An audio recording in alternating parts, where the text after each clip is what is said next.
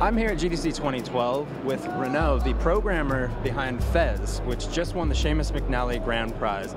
My first question for you is, how hungover is Phil Fish this morning? he, he sent me a text at like 5 a.m. saying, I don't think I can make it early tomorrow, but man the booth for me.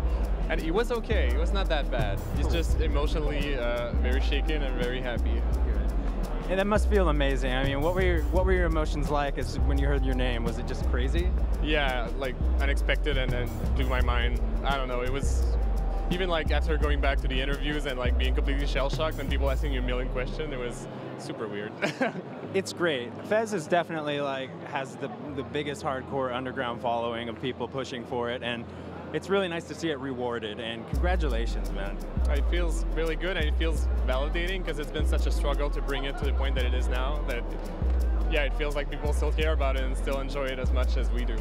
Totally. I can't wait to play it myself. I think it looks beautiful and everything you've done is just really incredible. Thanks a lot Thank you. Is there anything on the horizon you're uh, shooting for? Are we going to see Fez 2 anytime soon?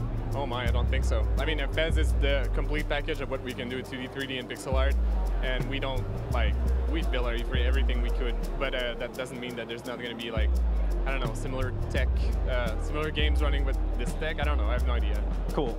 Well, we'll definitely keep our ear to whatever you guys are making. Thanks so much. Thank you.